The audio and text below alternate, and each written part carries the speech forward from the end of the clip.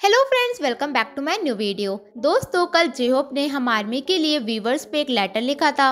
And दोस्तों, उस letter से जेहोप ने हम आर्मी को ये बताया था कि अब जेहोप भी जिन की तरह ही स्पेशल वॉरियर बन गई है अपने मिलिट्री बेस में। दोस्तों, आपको याद होगा कि कैसे जिन कुछ महीने पहले जेहोप को मज़ाक में चिढ़ा रहे थे और उससे कह रहे थे कि चाहे कुछ भी हो जाए, तुम्हें स्पेशल वॉरियर बनना होगा, वरना इससे बीटेस की इंसल्ट होगी। तो दोस्तों फाइनली हम लोगों के सनशाइन होबी ने स्पेशल वॉरियर पोजीशन हासिल कर ली है। दोस्तों जेहोप ने भी जिन की तरह इन सभी मुश्किल टास्क को पूरा करा है एंड फिर इसके बाद ही जेहोप को स्पेशल वॉरियर की पोजीशन मिली है।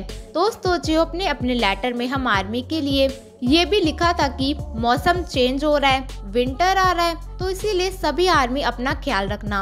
और जे होप बिल्कुल ठीक है एंड वो अपनी ट्रेनिंग अच्छे से कर रहे हैं। J-Hope we are me proud of you and दोस्तों, इसी के साथ नेक्स्ट ईयर 2024 ग्रैमी अवार्ड्स के लिए बीटस के सभी मेंबर्स के सॉन्ग आज ब्रिगेड ने सबमिट कर दिए हैं। ग्रैमी 2024 नॉमिनेशन के लिए। दोस्तों ब्रिगेड ने जो सॉन्ग ग्रैमी को कंसीडर करने के लिए सबमिट करे हैं, वो है जंको का सॉन्ग सेवन चियोप का सॉन्ग ऑन दी स्ट्रीट जिनका song the astronaut and Jimin V Suga and RM के सोलो एल्बम दोस्तों ग्रैमी अवार्ड्स अपने नॉमिनेशन को टेंथ नवंबर को अनाउंस करेंगे. सो लेट्स होप कि इस बार बीटीएस को ज़्यादा से ज़्यादा नॉमिनेशन मिले.